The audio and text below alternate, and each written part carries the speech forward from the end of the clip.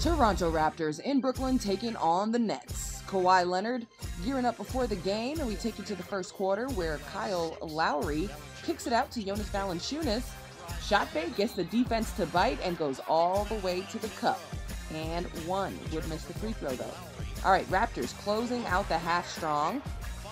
Kawhi Leonard cutting to the basket for the dunk. Kyle Lowry on the assist. Again, Lowry finds Valanciunas for the layup. Valanciunas had 17 points at halftime, and at halftime, we're tied at 53.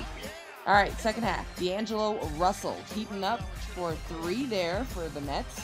Then, after missing, he stays with the play, gets his own, and hits the mid range jumper. Nets up four. More for Brooklyn. Spencer Dinwiddie, one on one with the rock, and blows past the defense. Nice kiss off the glass for the Raptors going the other way. Green with the rock kicks it out to Kawhi Leonard, who knocks down the corner three, and that's the lead. Raptors up two. Tie game, fourth quarter. Raptors ball with 10 seconds left.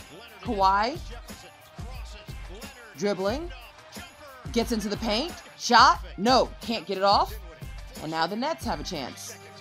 Dinwiddie drives, loses the ball. So guess what? Free basketball. We are going to overtime, tied at 98.